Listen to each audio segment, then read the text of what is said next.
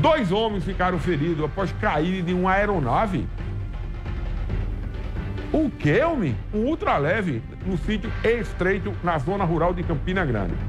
Marcos Aurélio, é grave isso. Mostra aqui. Vai lá, Marcos Aurélio.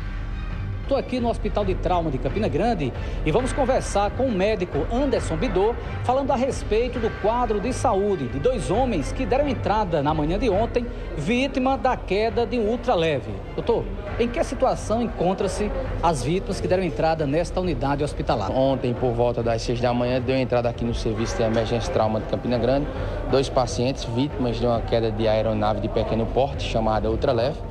As vítimas, segundo relato, colidiram com a rede elétrica e foram socorridas pela equipe do SAMU aqui para o Hospital de Trauma de Campina Grande. Ao chegar em sala vermelha, os pacientes foram assistidos pela equipe de cirurgia geral, neurocirurgia e ortopedia.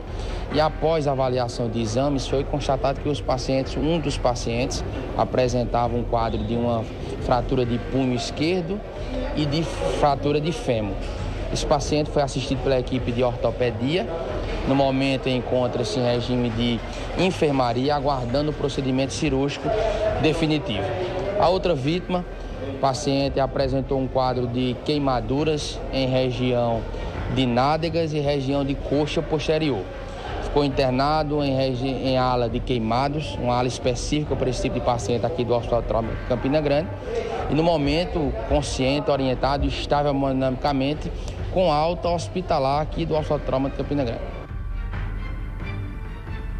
Eita, meus amigos, que coisa, né? Cuidado, cuidado com, olha, alguns é, meios de transporte e também de lazer.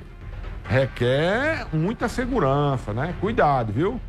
Cuidado mesmo, porque pode ser o que seria um momento de lazer, de, né, de ah, foi curtição, pode ser uma eternidade de sofrimento, viu? Lembre do provérbio hindu, né? Cuidado com o que você deseja. Que às vezes o resultado não é aquele o esperado, né?